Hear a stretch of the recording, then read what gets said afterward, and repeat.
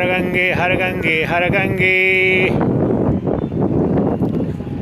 प्रिय दिव्यात्मन आप प्रयागराज स्थित दिव्य भव्य कुंभ के पावन त्रिवेणी संगम से माँ गंगा का दर्शन कर रहे हैं। हर हर गंगे, हर हर गंगे, जय माँ गंगे, जय माँ गंगे। हर हर गंगे जय माँ गंगे। हर हर गंगे जय माँ गंगे। हर हर गंगे जय माँ गंगे। हर हर गंगे जय माँ गंगे। प्रयागराज के त्रिवेणी संगम से आप माँ गंगा का दर्शन कर रहे हैं। अब सिर्फ़ एक सप्ताह है। और यह दिव्य भव्य कुंभ चार मार्च को महाशिवरात्रि के साथ संपन्न हो जाएगा। तो मैंने सोचा कि आपको भी जरा दर्शन करा दूँ। आइए उस दिव्य छटा का और माँ गंगा की उस पवित्र पावन ऊर्जा का आप दर्शन करें और अपने जीवन को धन्य करें। देवी सुरेश्वरी भगवती गंगे, त्रिभुवन तारिणी तरल गरंगे त्रिभुवन तारिणी तरल तरंगे त्रिभुवन तारिणी तरल तरंगे आप सभी दिव्यात्मन का मंगल हो। संजय मिश्रा जी, आप आनंद लें। आपके जीवन में भी मंगल हो माँ। गंगा की कृपा और अन्य लोग जो भी दर्शन कर रहे हैं, सबका मंगल हो। जो गंगा की निर्मल धारा है, वह चरित्र को ही हम सभी सनातन धर्मियों के चरित्र को उज्जवल करे, धवल करे, हमारी जो विचारधारा है, और पुनः एक बार अपने अपने अभूतपूर्व गौरव को भारत उपलब्ध हो, यह कामना करता हूँ। विशेष रूप से आज मैं प्रार्थना कर रहा हूँ, सर्वोच्च न्यायालय में आज से श्री रामलला के भव्य मंदिर के निर्माण हेतु जो श्री रामलला के भव्य मंदिर के निर्माण हेतु जो याचिका है सुप्रीम कोर्ट में, उसकी सुनवाई प्रारंभ हो रही है। मैं दो दिन अयोध्या में भी था और अब पुनः यही प्रार्थना और संकल्प करना है प्रत्येक सनातन धर्मी को कि यह त्रिवेणी का जो संगम है, यह जो पतित पावनी त्रैलोक्य तीन लोगों की से पार दिलाने वाली यह जो गंगा माँ है उसकी ऊर्जा संचरित हो और वह दिव्य भव्य मंदिर श्री मर्यादा पुरुषोत्तम भगवान श्री राम का बने। इसके निमित्त जो भी वैधिक बाधाएँ हैं, महाराज श्री दंडी स्वामी अद्वितीय को भी नमो नारायण और आपका भी अभिनंदन। तो ये त्रिवेणी के पावन संगम से और जहाँ कहीं भी हो मैं विशेष रूप से आज आवाहन करता हूँ कि जो श्री राम लला का जो मंदिर निर्माण का जो संकल्प है, और वह एक मंदिर मात्र नहीं है, जैसा कि मैंने वहाँ पर अयोध्या में भी दो दिनों दर्शन के समय, जिस प्रकार से मैंने हुंकार भरी और साथ साथ में सैकड़ों लोग जुट जाते थे, यह आत्मविश्वास इस सनातन धर्म के अपने पुनर्वैभव, अपने उस प्राचीन गौरव को एक बार कुछ खंडित एक मंदिर नहीं हुआ है। मर्यादा पुरुषोत्तम तो ब्रह्मांड के कण कण में है, लेकिन हमारा अस्तित्व, सनातन धर्म का जो अस्तित्व है, सनातन धर्म के जो शाश्वत प्रतीक चिन्ह है, उन पर जो उनके आधार स्तंभ, उसके केंद्र बिंदु जो मर्यादा पुरुषोत्तम है, उस पर आक्रमण हुआ और उसका अभी तक सुधार नहीं कर पाए, प्रतिकार नहीं कर पाए हैं। इसलिए आज मैं आवाहन करता हूँ, विश्व में कहीं पर भी जो सनातन धर्मी हो, यह संकल्प करें, प्रार्थना भी करें, परंतु अगर बलिदान की आवश्यकता हो, किस बलिदान केवल शारीरिक ही नहीं होता है, यज्ञ करें, आहुति करें कि मर्यादा पुरुषोत्तम भगवान श्री राम का मंदिर अब उसमें विलंब नहीं हो, बहुत दिन हो गया। परम धर्म संसद में, कुंभ में परम पूज्य स्वामी शंकराचार्य स्वरूपानंद जी ने जो आवाहन किया था और 21 को जो वहाँ पर शिला पूजन का और भव्य मंदिर के निर्माण का तो जैसा कि आप जानते हैं, आतंकवादी हमला हुआ। उसके पश्चात जो राष्ट्र में एक दूसरे प्रकार की ऊर्जा और माहौल बना हुआ है तो उसके निमित्त पूज्य शंकराचार्य जी ने इस कार्यक्रम को टाल दिया। मेरा भी जाने का भी विचार था और बनारस तो गया भी था। मैंने सोचा था कि महाराज श्री का दर्शन करूँगा, वहीं पर थे। लेकिन अचानक किसी कारण बस एक दो दिन ही रुक करके मुझे अयोध्या जाना पड़ा। तो ये जो संकल्प है, यह संकल्प प्रत्येक सनातन धर्मी को अपने अंदर, हम किसी के विरोध में नहीं है, हमारी संस्कृति किसी के विरोध में नहीं, हम किसी का शोषण नहीं चाहते हैं, परंतु हमारे अस्तित्व पर ही प्रहार हज़ार वर्षों से हो रहा है। हम अब ये बर्दाश्त नहीं करेंगे। ये स्वीकार्य नहीं है, क्योंकि जो कुछ लोगों को हमारी सनातन धर्म की और हमारी वैदिक संस्कृति को नीचा दिखाकर, उस पर प्रहार करके, उसकी कुव्याख्या, कुदृष्टि, कुतर्क के द्वारा जिस प्रकार से स्वतंत्रता के पश्चात भी प्रयास होता रहा है, वो स्वीकार्य नहीं है। इसलिए मैं आप सबका आवाहन करता हूँ कि प्रत्येक सनातन धर्मी प्रत्येक सनातन धर्मी यह संकल्प करे और इसके निमित्त जो भी अनुष्ठान हो सकता है, यह पौरुष मर्यादा पुरुषोत्तम उस ऊर्जा के प्रतीक हैं। जैसा कि वो स्वामी तुलसीदास ने श्री रामचरित मानस में कहा श्री राममय सब जग जानी, करऊं प्रणाम जोरी जुग पानी। मर्यादा पुरुषोत्तम श्री राम केवल दशरथ नंदन नहीं है, त्रेता युग में आए और चले गए वही नहीं है। वो वैदिक संस्कृति ने जो सत्यचित आनंद परिभाषित किया उपनिषदों ने, जिस ब्रह्म को शाश्वत अखंड अद्वय अविनाशी पर ब्रह्म परमात्मन को कहा, उसके प्रतीक हैं, उसके अवतार हैं। इसी तत्व को गोस्वामी तुलसीदास ने श्री रामचरित मानस में कहा श्री राममय सब जग जानी करऊं प्रणाम, ज़ोर जुग पानी। हमारे सनातन धर्म के उस प्रतीक को खंडित किया गया 600 वर्ष पूर्व, और उसे पुनर्स्थापित करना है। आप विश्वास न करेंगे, मैं दो तीन दिन जब अयोध्या में था, परसों आया तो जब अंदर जाता था, मेरे अंदर कोई सोच के नहीं गया था, लेकिन इस प्रकार से मैं हुंकार करना प्रारंभ किया, तत्काल अंदर में ही, और हज़ारों की संख्या में वहाँ पर पैरामिलिट्री फोर्सेस थे।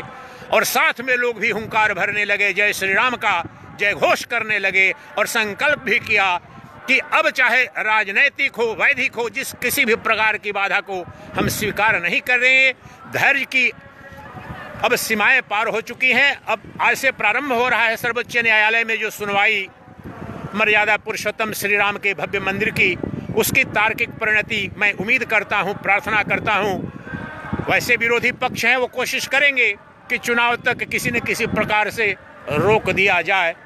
कितना सफल होते हैं, मुझे मालूम नहीं कहना, क्योंकि मैं सुप्रीम कोर्ट को जानता हूँ, मैं दस वर्ष मैं विभिन्न सरकारों के विरुद्ध लड़ता रहा, सच्चिदानंद सन्यासी होने से पूर्व। तो टेक्निकल ग्राउंड पर हो सकता है रोकने की कोशिश करें, सुनवाई।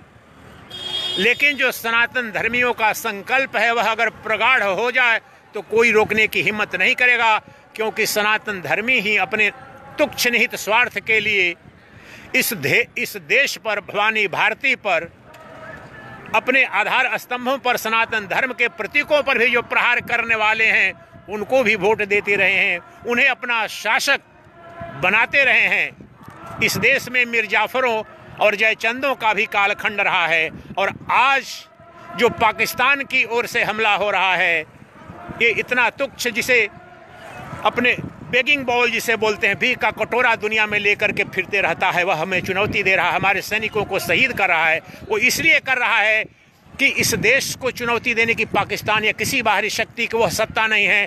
इस देश में जयचंदों और मीर जाफरों की एक बहुत बड़ी कौम जो है, हमारे अकेडमिया में, यूनिवर्सिटी में, टॉप रेटेड यूनिवर्सिटी में, ये जादवपुर यूनिवर्सिटी, कलकत्ता की जवाहरलाल नेहरू विश्वविद्यालय, दिल्ली का और मीडिया हाउसेज में और अकेडमिया में पिछले सत्तर वर्षों तक देश आज़ाद होने के बाद जो लेफ्टिस्ट आइडियोलॉजी का इतना विक्षिप्तता और प्रगाढ़ता में जो कहते हैं इन्फेस्ट करना deep infestation in in the academic life उनको अब ये पच नहीं रहा है। जो सनातन धर्म है, जो शाश्वत मूल्यों पर आधारित है, हम किसी पर प्रहार करना, किसी का शोषण करना हमारा धर्म नहीं है। जो आधार स्तंभ है, लेकिन जो शोषक, प्रहार, आक्रमणकारी, आतताई, आसुरी शक्तियाँ, जिसे भगवान कृष्ण भगवत गीता में दैवी संपदा और आसुरी संपदा का वर्णन करते हैं, जो आसुरी संपदा के प्रतीक जो संस्कृति हैं, आचार हैं, विचार हैं, जो आदर्श हैं, वो प्रहार कर रहे हैं, इसलिए अब बहुत एक हज़ार वर्ष से भी ज़्यादा हो गए, जो अहिंसा परमो धर्मों का यह कुतर्क विक्षिप्त अर्ध सत्य प्रस्तुत किया गया। और वह जो परम सत्य है, अहिंसा परमो धर्म धर्म हिंसा तदैव च।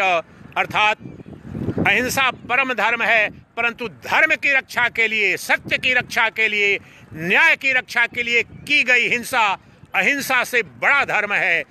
ये प्रत्येक सनातन धर्मी को जानना आवश्यक है। नहीं तो नपुंसकता आ गई है विचारधारा में। हमारे दिन प्रतिदिन की चिंतन में आ गई है, जिसके कारण छोटे छोटे प्रदेश आक्रमण करते रहे हैं। इस भारत माता के टुकड़े टुकड़े भी हो गए और हम कब तक अब सहते रहेंगे।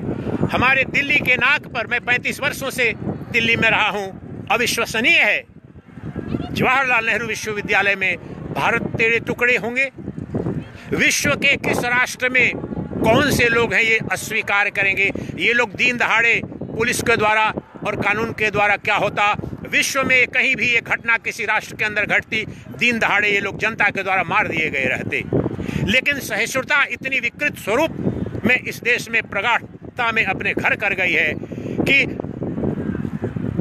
आपको जब अब आप देख रहे हैं, कल जम्मू कश्मीर की जो भूतपूर्व चीफ मिनिस्टर है, वो भी आपको शांति का पाठ पढ़ा रही थी। बोल रही थी कि अगर युद्ध किया भारत ने पाकिस्तान पाकिस्तान प्रतिदिन हमारे सैनिकों को मार रहा है, आतंकवाद फैला रहा है, लेकिन यहाँ से जब हम प्रहार करना चाहते हैं, उसको जवाब देना चाहते हैं तो इसी देश में, मीडिया में भी बहुत बड़ा एक वर्ग है। बुद्धिजीवियों का भी एक बड़ा वर्ग है। वो बोलता है, नहीं, युद्ध नहीं करना चाहिए। जम्मू कश्मीर की मुख्यमंत्री बोल रही है, जो गंवार और अब्बड़ लोग हैं, वो युद्ध करते हैं। जिस धर्म से वो आती है, जिस संस्कृति को, वो आतंकवाद की संस्कृति है, वो हमें अहिंसा का पाठ पढ़ा रही है। लेकिन ये उसका पहला उदाहरण नहीं है। हज़ार वर्षों से आतंकियों ने आप पर प्रहार किया और आपको बोलते हैं, आपको लेकिन प्रहार नहीं करना चाहिए। अब ये बहुत दिन हो चुका, इस विक्षिप्त दर्शन को अब हिंद महासागर में इसका परिमार्जन कर दीजिए, विसर्जित कर दीजिए और हम किसी पर आक्रमण नहीं करना चाहते, हम किसी का शोषण नहीं करना चाहते, किसी के भूभाग पर भी अधिग्रहण नहीं करना चाहते, लेकिन हमारे आदर्शों, हमारे प्रतीकों, हमारे भूभाग, हमारी भवानी भारती पर जो भी आक्रमण होगा तो ईंट का जवाब पत्थर से, कहना नहीं, अब देना भी होगा, और जिस दिन विश्व यह देख लेगा कि भारत यह कर रहा है तो आपकी जो जीडीपी है और जो आर्थिक वैभव भी है नपुंसक के साथ मानव इतिहास में सबसे एक शाश्वत सूत्र है, नपुंसक को कोई पसंद नहीं करता है। चाहे आपकी संतान भी हो, पति हो, पत्नी हो प्रेसी हो, या राजा हो या प्रजा हो, नपुंसकता को कोई पसंद नहीं करता है। और जिस नपुंसकता को हम हज़ार वर्षों से उपलब्ध हुए हैं, विश्व के कई देश तो इस विशाल वैभव जो भवानी भारती का है वह आश्चर्य करते हैं। जो कभी विश्व का इतना वैभव साम्राज्य था, भारत उसके ये उत्तराधिकारी इतने नपुंसकता को कैसे उपलब्ध हो गए कि जिसे खाने का ठिकाना नहीं, पाकिस्तान जैसा आतंकवादी देश प्रतिदिन हमारे सैनिकों पर प्रहार करते रहता है, क्षुद्रता की अपनी निशानियाँ छोड़ते रहता है और हम मुख दर्शक बने हुए हैं। तो अब यह पावन त्रिवेणी संगम प्रयागराज से मैं यही संकल्प करता हूँ और मैं पिछले डेढ़ महीने से ज़्यादा कुंभ प्रारंभ होने से पहले ही कोई मैं परमहंस सन्यासी हूँ, हिमालय में रहता हूँ, किसी स्थान की मुझे आवश्यकता नहीं है, करता भी नहीं हूँ, कहीं अयोध्या भी गया, बनारस भी गया, यहाँ भी आया, किसी अनुष्ठान के लिए नहीं हूँ। परमन, परमहंस सन्यासी तो सबसे, सब कृतकृत्य हो जाता है, लेकिन यह जो राष्ट्र है, यह जो भवानी भारती है, उसकी जो दिव्य ऊर्जा मेरे रग में प्रवाहित हो रही है, उसका खर्च चुकाना है, सन्यासी भी हुआ तो कोई बात नहीं। परंतु वह जो राष्ट्र, जिस मेरे पूर्व जन्म के जो कर्म थे, जिसने मुझे इस वैभव को उपलब्ध sorry network was creating problem है। तो मैं अब आपसे यही कामना करता हूँ, प्रार्थना करता हूँ कि पूरे भारत में यह नई ऊर्जा का संचार हो, सनातन धर्म पुनः एक बार उस परम वैभव को उपलब्ध हो और आत्मसम्मान, कोई भी समाज, कोई भी संस्कृति, कोई भी सभ्यता, कोई भी व्यवस्था जिसके नागरिक, जिसके सदस्य आत्मसम्मान जिनमें न हो, उसके प्रगति की कोई संभावना नहीं है। आत्मसम्मान वह ऊर्जा है जो आपको परम वैभव को ले जाती है। और जब मर्यादा पुरुषोत्तम श्री राम का मंदिर अयोध्या में टूटा। मथुरा में जब भगवान कृष्ण का और काशी विश्वनाथ में अब इतना क्रोध आ जब भी मैं जाता हूँ मथुरा या काशी तो वापी मस्जिद वहाँ दिखाई पड़ती है। ये हमारे the symbols of shame these all these of shame need to be demolish forever wipe out क्योंकि ये अपमान के घृणा के, आक्रमण के, आतंकवाद के प्रतीक हैं, जिसे आज आतंकवाद कह रहे हैं। यह आतंकवाद 700 वर्ष पूर्व प्रारंभ हो गया था और विशेष रूप से औरंग, औरंगज़ेब ने, बाबर ने, इन लोगों ने अपने आतंकवाद के द्वारा ही जो हमारे शीर्षस्थ जो धर्म के प्रतीक चिन्ह है, पहले उन पर प्रहार किया, उनको ध्वस्त किया, हमारे आत्मसम्मान को ध्वस्त किया। इसलिए जो जो राम मंदिर का जो बनना है, जो निर्माण होना है, वह किसी मंदिर का निर्माण नहीं, आपके अंदर कुछ ध्वस्त हो गया है। प्रत्येक सनातन धर्मी के अंदर का कुछ न कुछ गिर गया है, ढह गया है। और वह जो आपके अंदर, क्योंकि ये जो कुंभ है, जो दिव्य कुंभ, अमृत कुंभ, यह शरीर को ही कुंभ वेदों ने कहा, और इसके अंदर ही अमृत है, अमृत का कुंभ है। ये प्रतीक के रूप में है। और